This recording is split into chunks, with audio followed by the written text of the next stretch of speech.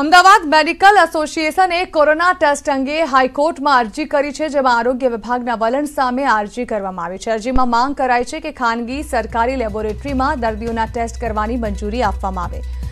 અરજીમાં તબીબોની રજૂઆત છે કે ટેસ્ટ કરવાની પ્રક્રિયાનો સમયગાળો ટૂંકાવાય અને ત્વરિત ટેસ્ટ થાય.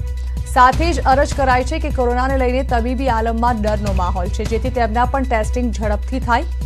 તાજેતરમાં જ રાજ્યના ઘણા તબીબો કોરોનાની ઝપેટમાં આવ્યા હોવાના અહેવાલો છે અને આ અરજી પર આજે હાઈકોર્ટમાં સુનાવણી થશે.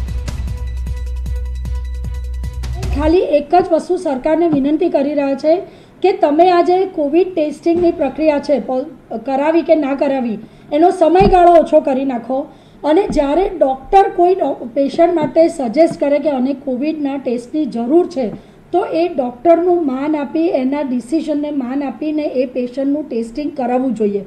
આનું હિયરિંગ છે કોર્ટની અંદર અને અમે આશા રાખીએ છીએ કે આનો એક સારો જ નિકાલ આવશે અને સરકાર અમને જાણીએ છીએ કે અમારી જોડે જ છે, પણ આ જે પ્રોબ્લેમ છે એને ત્વરિત રીતે સોલ્વ કરશે. કોરોના અંગેની કેટલીક માહિતી હટાવવામાં આવી સરકારી વેબસાઇટ્સ પરથી. સરકારી વેબસાઇટ્સ પરથી કોરોનાને લઈને કેટલીક માહિતી હટાવવામાં આવી છે. જેમાં કુલ પોઝિટિવની યાદી હટાવી દેવામાં આવી છે. અત્યારે માત્ર એક્ટિવ કેસની જ માહિતી અહીં અપડેટેડ રાખવામાં આવી છે. રાજ્ય અને જિલ્લાની કુલ પોઝિટિવ યાદી હટાવી લેવામાં આવી છે અને અત્યારે જે એક્ટિવ કેસ છે, તેટલી જ યાદી વેબસાઇટ પર રાખવામાં આવી છે.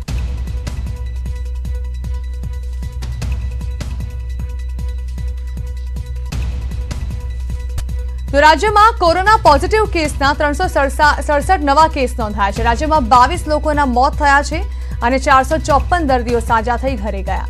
રાજ્યમાં કુલ પોઝિટિવ કેસનો આંક પંદર હજાર પાંચસો બોતેર છે. રાજ્યમાં કુલ મૃત્યુ આંક નવસો સાહીઠ થયો છે.